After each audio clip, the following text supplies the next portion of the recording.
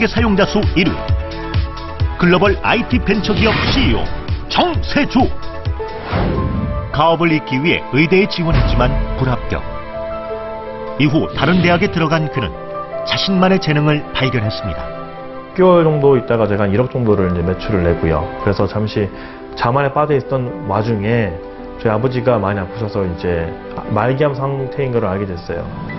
아버지를 잃은 그는 주저없이 새로운 길을 선택했습니다 제가 이제 제 인생을 리드할 수 있는 환경에 놓여주다 보니까 뉴욕을 간 겁니다.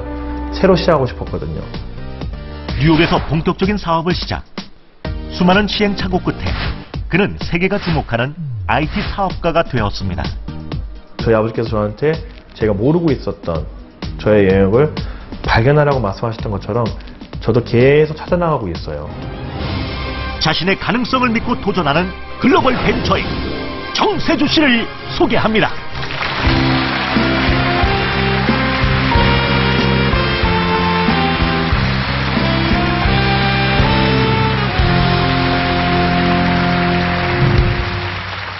네, 또 잘생긴 남성이 나오셨습니다. 그런데. 네, 그, 요즘에 길거리나 뭐 대중교통수단 이렇게 이용하면서 보면은 모든 사람들 시선이 스마트폰에 지금 뭐 고정이 되다시피 하는데요. 네. 그러면 그 스마트폰으로 이용하는 프로그램을 만드신다는 얘기죠? 맞습니다. 네네. 일상생활에서 네. 건강 관리를 할수 있는 기술을 인공지능 기술을 개발하고 있는 회사입니다.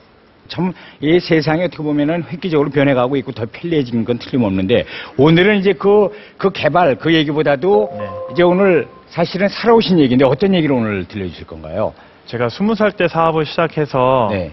시행착오가 굉장히 많았었어요. 음, 그때마다 힘들 때가 많아서 포기하고 싶고 이제 좌절하고 싶을 때가 많았었는데 네. 그때 저를 지켜주던 말씀이 있었는데 그 말씀을 여러분과 한- 함께 하면서 네. 아, 오늘 아, 그래요. 정말 좋은 시간 될 것 같은데. 네. 오늘 그 강연 주제가 지금 나왔습니다. 멀리 나는 법을 배워라. 어, 누구가 이런 누가 이런 얘기를 해주셨나요? 저희 아버지의 말씀이십니다. 아 그래요? 네. 그러면 그 좋은 말씀 한번 듣겠습니다. 자 멀리 나는 법을 배워라. 우리 다 같이 배워보겠습니다. 자 앞으로 나가시죠.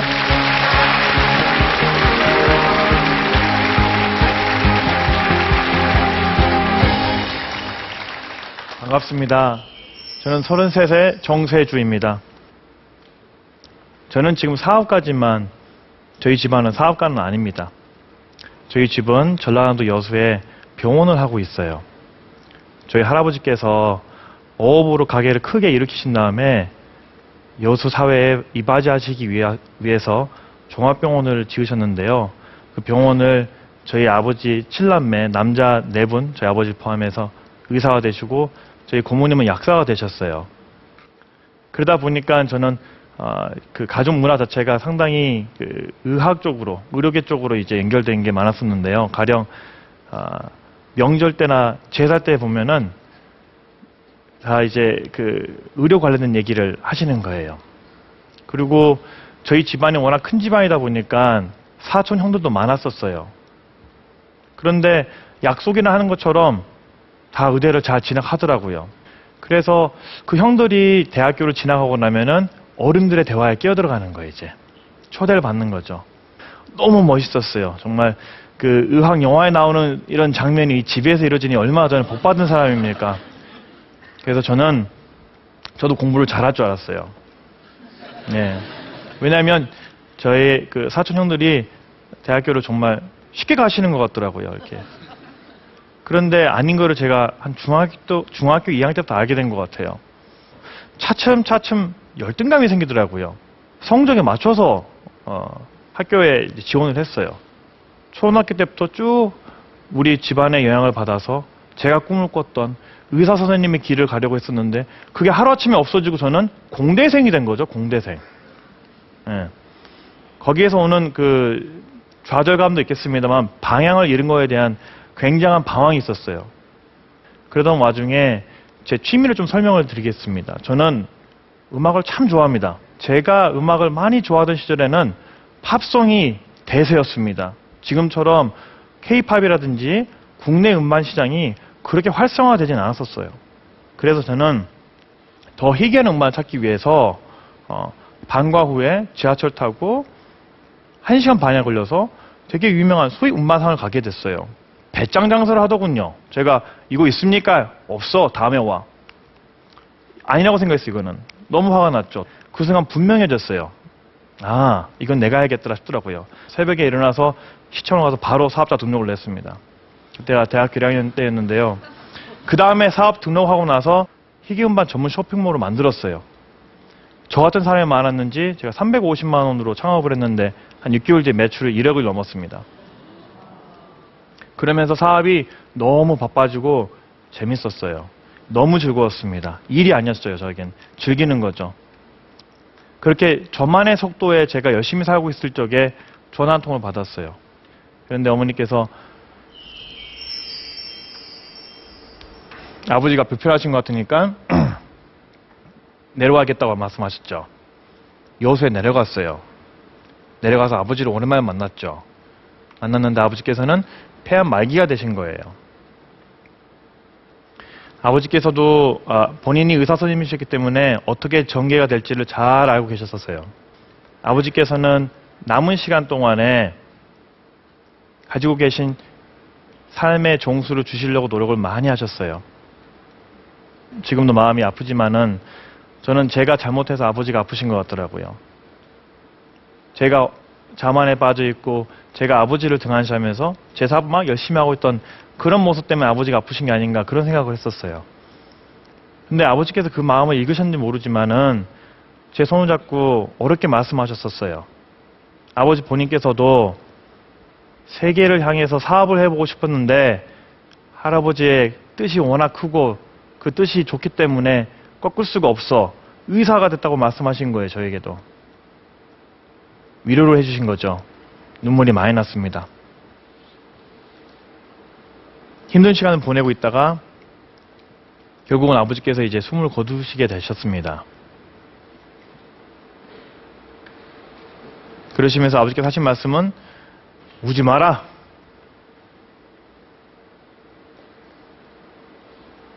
울지 마라 말씀하셨습니다. 그러면서 하신 말씀이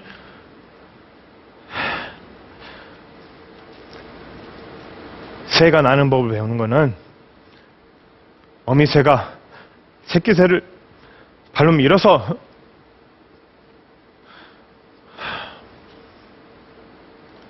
둥지에서 떨쳐야지 나는 법을 배운다고 말씀하시면서 아버지의 죽음은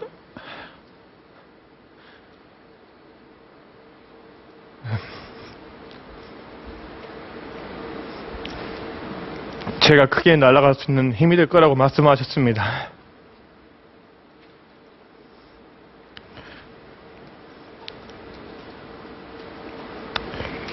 사랑하는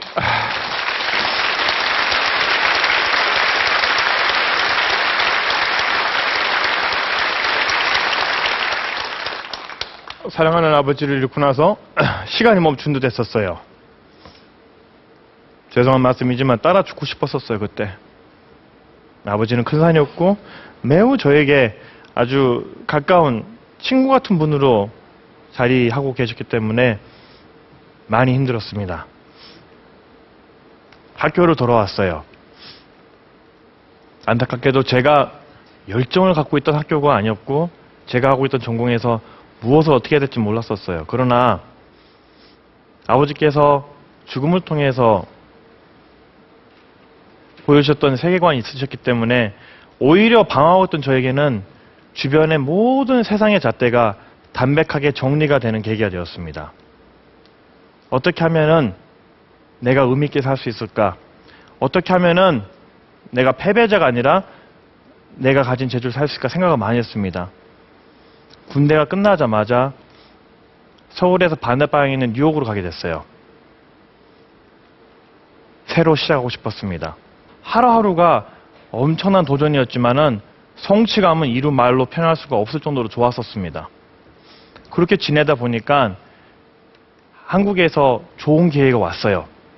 브로드웨이 뮤지컬을 가지고 한국에서 한번 공연하면 어떻겠냐는 의, 의견이 왔었고 그걸 맡아달라는 제의가 왔었어요.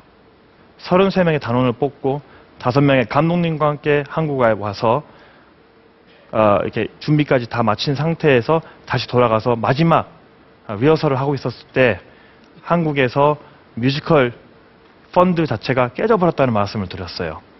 굉장히 힘든 시간이 온 거죠. 그 중요한 시기에 시즌을 놓쳐버린 배우들과 감독들이 저를 고소하게 됐죠. 제가 주최할 수 있는 책임이 아니었던 것 같아요. 그래서 야반 도주를 하려고 했습니다. 야반 도주를 하려고 나가는 길이었었어요. 그런데 이건 아니다 싶더라고요. 부끄러워졌었습니다, 순간. 돌아갔어요. 전국법을 선택했습니다. 단원을 만났어요. 설명을 드렸습니다. 이해를 돕고자 노력을 했고 마음으로 말씀을 드렸습니다. 그랬더니 한 분, 두 분의 마음이 녹아서 이해를 하기 시작하시더라고요. 세주 너도 힘들었겠구나 라고 말씀하시면서 최종적으로 감독님께서 고소를 취하하셨습니다. 그러나 뮤지컬이 망가지고 나서 바로 회복되진 않았어요. 돈이 없다 보니까 이제 식사량이 줄어들게 되고요. 다행히 좀 살이 많이 빠졌습니다. 살이 빠지고 시간이 남으니까 이상한 생각이 많이 들어요. 동네를 걷기 시작했어요. 그런 시절에 제가 아주 가깝게 지내던 친구가 한 명 있습니다. 미국에서 만난 인연인데요. 그 당시에 아, 세계 최대 IT 회사에서 개발 수석을 담당하던 사람입니다.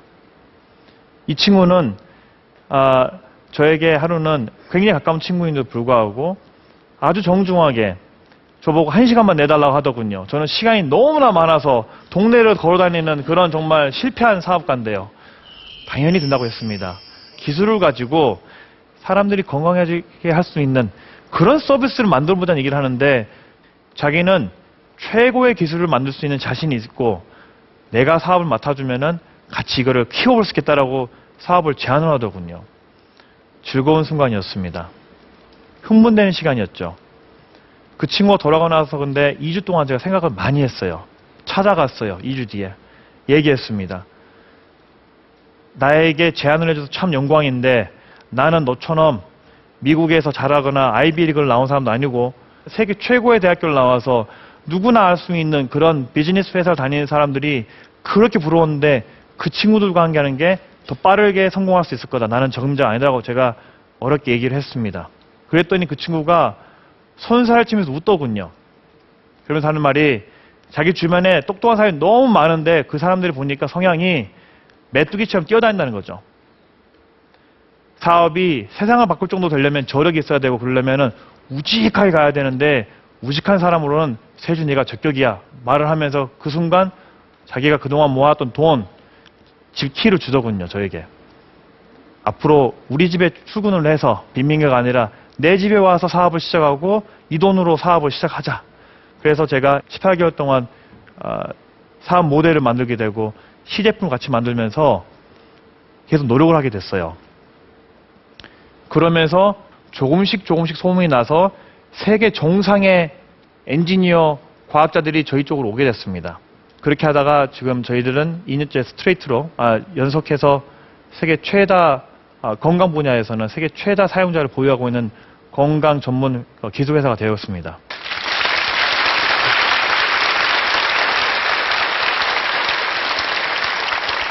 감사합니다. 미국에서 사업을 하면서 투자자라든지 같이 사업을 해야 될 파트너에게 말씀을 드릴 때 제가 주눅이 드는 저를 방해할 때가 굉장히 많아요. 그때마다 저에게 있었었던 어, 힘든 시간을 생각을 합니다. 그러면서 그때마다 저희 아버지께서 저한테 해주셨던 담담하게 해주셨고 담백했던 그 말씀 제가 가지고 있는 재주가 뭐고 나는 왜 이 일을 위해서 열심히 하는지에 대해서 그 본질론에 대해서 생각을 많이 하게 됩니다. 결국은 이렇게 어려운 과정 아버지를 통해서 아버지께서 죽음을 통해서 아버지께서 가르쳐 주신 이런 어, 가치를 제가 이제 알게 되면서 저를 다시 뒤돌아보게 됐는데요. 이제 저는 막 나귀짓을 하고 있는 느낌을 많이 받습니다. 얼마 높게 멀리 나갈 수 있을까? 저도 저 자신에게 그리고 우리 팀원들에게 항상 물어보면서 같이 그 가치를 추구하고 있습니다. 오늘 오신 여러분께서는 어떻게 본인이 디자인하신 방향으로 지금 가고 계시는지 혹은 재주를 다 발견하셨는지 아, 궁금합니다. 제 스토리가 여러분께서 영감을 받으셔서 재주를 발견하는데 도움이 되길 바라면서 인사드리겠습니다. 감사합니다. 감사합니다.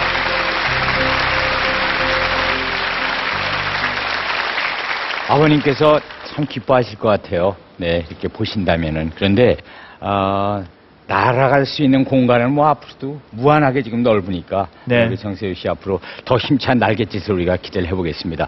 자, 이제 우리 공감 의견단 버튼 준비되셨습니까? 자, 마음이 움직이신 분들 버튼 눌러주세요. 보겠습니다. 정세주 씨의 멀리 나는 법을 배워라. 오늘의 공감 온도. 자, 자, 몇 도일까요? 95도입니다.